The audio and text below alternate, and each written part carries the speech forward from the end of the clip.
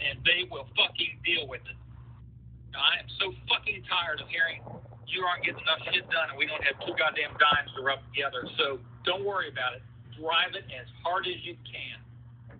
The GM will figure out how to message it and they will they will cry uncle or they will pay it. One of the two. And if they put their money where their mouth is, they will pay it. Period. That's my two cents on that. And that's and, and that's the approach